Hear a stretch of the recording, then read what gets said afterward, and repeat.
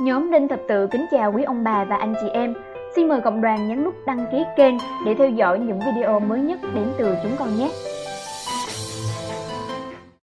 Kính thưa cộng đoàn, khi tượng thánh Du Sen ngủ với chiều dài 23 m, cao 6 m ở giáo họ biệt lập Hà Phát, giáo phận Xuân Lộc Hoàng Thiện, hơn một tháng nay đã có rất nhiều khách hành hương đến chiêm ngưỡng. Kích thước khổng lồ của bức tượng được nhiều người truyền tay nhau rồi chụp hình, quay video chia sẻ trên mạng xã hội. Việc tạo hình ông Thánh Du Xe với tư thế nằm ngủ bỗng trở thành đề tài tranh cãi qua các bình luận bên dưới hình ảnh đăng tải. Vậy, việc tạo hình thánh cả đang trong giấc nghỉ ngơi có thực sự là xa lạ? Trên thực tế, tượng thánh Du Xe nằm ngủ đã được nói nhiều trong năm đặc biệt về thánh Du Xe 8 tháng 12 năm 2020, 8 tháng 12 năm 2021. Và cũng dịp này, có không ít bài viết suy tư về giấc ngủ của thánh nhân. Đức Thánh Cha Francisco cũng có một bức tượng như thế ở trong phòng của Ngài. Tại một cuộc nói chuyện, Ngài đã chia sẻ kinh nghiệm vượt qua những căng thẳng và có giấc ngủ ngon của mình. Theo đó, khi có một vấn đề khó khăn xảy đến, Ngài sẽ viết một mảnh giấy và đặt dưới tượng thánh Du Xe ngủ. Đức Thánh Cha xác định, giống như thánh Du Xe, một khi chúng ta đã nghe tiếng nói của Thiên Chúa thì phải tỉnh giấc, phải đứng lên và hành động. Theo Đức Tổng Giám mục Du Xe Ngô Quang Kiệt chia sẻ, thì thực ra tượng thánh Du Xe nằm ngủ có nền tảng kinh thánh. Hầu hết những lần Chúa phán bảo Ngài đều thông qua giấc ngủ.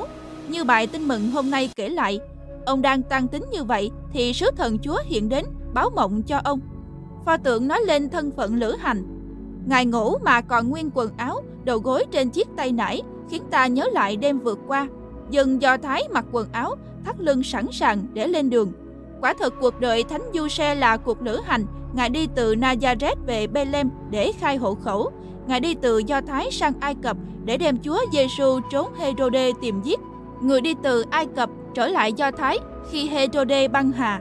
Lữ hành là người sẵn sàng lên đường, không gắn bó vào nơi chốn nào. Từ Roma so sánh Thánh Giuse với tổ phụ Abraham. Abraham là người lữ hành của Chúa. Chúa mời gọi và Ngài sẵn sàng từ bỏ tất cả để lên đường, đi đến nơi Chúa chỉ, đến miền đất hứa. Nhưng tổ phụ Abraham đi suốt cuộc đời vẫn chưa có được mảnh đất nào. Ngài đi không ngừng, Ngài chỉ ngừng đi khi lên trời.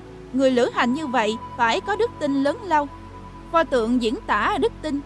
Thư Roma so sánh đức tin của Thánh Giuse với đức tin của tổ phụ Abraham. Abraham tuyệt đối tin vào lời Chúa hứa. Chúa hứa cho Ngài một miền đất chảy sữa và mật. Nhưng cho đến cuối đời, Ngài chẳng có mảnh đất nào. Sách sáng thế chương 23 thuật lại, khi bà Sarah qua đời, ngài phải thương thuyết với Hebron, còn ông Khet mua thử đất Macpele để chôn cất vợ mình. Chúa hứa cho ngài một dòng dõi đông như sao trên trời, như cát dưới biển, nhưng khi đã ngoài 90 tuổi, ngài vẫn chưa có con. Và khi Isaac được 12 tuổi, Chúa lại truyền phải sát tế dân cho Chúa, thế mà ngài vẫn vâng lời. Thư Roma kết luận, mặc dù không còn gì để trông cậy, ông vẫn trông cậy và vẫn tin. Thánh cả Giuse cũng thế, thánh cả tuyệt đối tin vào lời Chúa, nên ngài tin cả những điều khó tin nhất. Làm sao người trinh nữ có thể sinh con? Làm sao con bác thợ mộc có thể lên ngôi thừa kế ngai vàng của vua David? Nhưng ngài vẫn vững tin vào lời Chúa, nên mau mắn thi hành lệnh Chúa truyền, tin cả lời Chúa dạy trong giấc ngủ, vì thế ngài có lòng phó thác vô biên. Pho tượng diễn tả niềm phó thác, người lữ hành sao có thể ngủ ngon như thế? Người ra đi trong buồn khổ vì bạn mình có thai mà chẳng biết xuất xứ. Người ra đi trong lo âu vì bạo vương Herode đang tìm hài nhi để tiêu diệt. Sao có thể ngủ đến mê say như thế? Đó là vì Ngài có lòng phó thác vô biên. Phó thác cũng nói lên tâm tình dân hiến. Mọi sự là của Chúa, mọi việc không ngoài thánh ý Chúa. Tất cả nằm trong bàn tay Chúa quan phòng. Ngài chẳng làm gì khác hơn là để Chúa làm việc. Ngài phó thác mọi việc trong tay Chúa Ngài sống đúng lời Thánh Vịnh 4, câu 9. Thư thái bình an, vừa nằm con đã ngủ, vì chỉ mình Ngài cho con sống yên hằng. Vì thế Ngài vẫn ngủ ngon giữa muôn vàng lo âu buồn khổ, đó là vì Ngài thấy ánh sáng giữa đêm tối. Pho tượng cũng diễn tả đêm tối. Đêm tối nên phải ngủ, nhưng chính khi ngủ, Ngài được Chúa hướng dẫn, Ngài thấy ánh sáng trong đêm tối. Simon Fred khi thiết lập khoa học phân tâm học đã tìm ra bóng tối trong con người.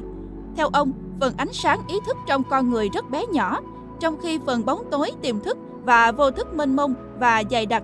Chính bóng tối quyết định số phận con người, tiềm thức và vô thức bị phần ý thức dồn ép, vùi lấp, chỉ hiện lên trong những giấc mơ. Nói nôm na là ngày nghĩ gì, đêm mơ thấy điều ấy. Nếu giấc mơ nói lên chiều sâu của tâm hồn, thì trong sâu thẳm tâm hồn của Thánh Du Xe có Chúa luôn ngự trị. Thánh Du Xe luôn nghĩ về Chúa, luôn tìm thánh ý Chúa, nên Chúa đã soi sáng cho Ngài trong giấc mơ. Ngài đi giữa đêm tối trần gian, nhưng được ánh sáng của Chúa soi dẫn. Ngài đi giữa đêm tối giác quan, nhưng được ánh sáng thánh thần chỉ lối. Ngài đi giữa đêm tối màu nhiệm, nhưng lại được ánh sáng lời Chúa dẫn đường. Chỉ đi theo lời Chúa, như lời Thánh Vịnh 119, câu 105. Lời Chúa là ngọn đèn soi cho con bước, là ánh sáng chỉ đường con đi. Tượng thánh Du Xe nằm nghỉ ngơi cũng có ở một số nơi khác như trong khuôn viên nhà thờ Châu Long và đền thánh Du Xe An Bình, giáo phận Long Xuyên. Tại đền thánh công chính Du Xe, giáo phận thành phố Hồ Chí Minh, bức tượng ông thánh Du Xe ngủ được tạc bằng đá cẩm thạch trắng, dài gần 2 mét. Dưới tượng còn có dòng chữ Thiên thần Chúa hiện đến, báo mộng cho thánh Du Xe.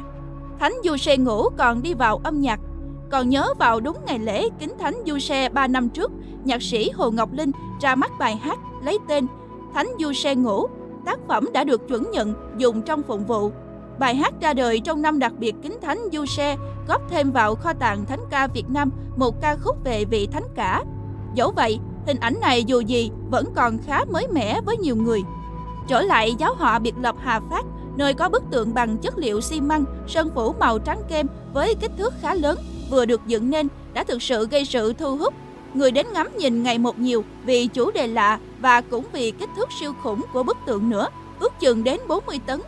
Theo cha phụ trách do anh Vũ Xuân Nghị, Thánh Du Xe là bổn mạng giáo họ vì tình yêu mến của bà con giáo dân trong họ và câu chuyện như Đức Thánh Cha đã từng nhắc đến là nguyên do thúc đẩy sự chung tay dựng nên pho tượng. Trong khuôn viên giáo họ biệt lập này còn nhiều tượng, trùng tượng có tạo hình và chủ đề khá lạ hay kích thước lớn khác như tượng Đức Mẹ Thiếp Giấc, Mẹ Hy Vọng, tượng Chúa Kitô Vua, Thánh Tử Đạo Việt Nam. Lại Thánh Cả Du Xe, xưa Thánh Cả đã đi trong đêm đen nhưng đã tìm được ánh sáng lời Chúa, đã có ngọn đèn đức tin soi đường. Ngài vẫn ngủ ngon vì luôn phó thác vào bàn tay Chúa quan phòng. Xin thương nâng đỡ chở che chúng con, để dù đêm tối dày đặc và phong ba bão táp dập vùi, chúng con luôn hướng về quê trời và đi đến nơi bình an. Amen.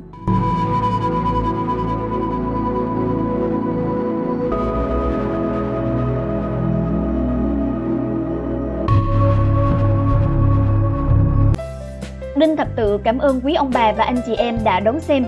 Xin Chúa chúc lành cho tất cả mọi người. Và đừng quên đăng ký kênh để theo dõi những video mới đến từ chúng con.